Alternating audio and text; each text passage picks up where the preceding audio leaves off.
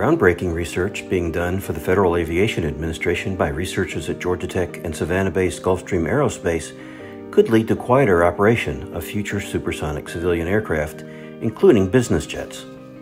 Such aircraft would dramatically reduce flight times for passengers and crew, but because their engines can't take advantage of certain sound reducing technology, additional efforts will be needed to reduce noise.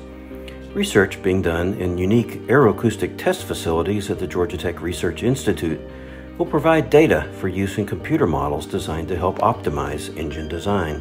While other research at agencies such as NASA focuses on countering sonic booms during supersonic flight, this project is addressing engine sound generated when the aircraft will be taking off and landing. Key to controlling that noise may be the design of engine structures that mix heated air exiting the engines with cool air flowing around them. The data is being gathered from a test facility that pushes high speed air through nozzles and mixers under test. Banks of microphones record the sound, and other instruments measure velocity and pressure. A separate facility allows researchers to view turbulence in the high speed air passing through the nozzles.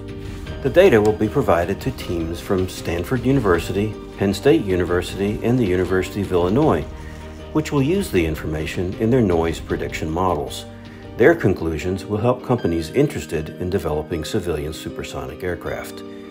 In Atlanta, I'm John Toon with the Georgia Tech Research Institute.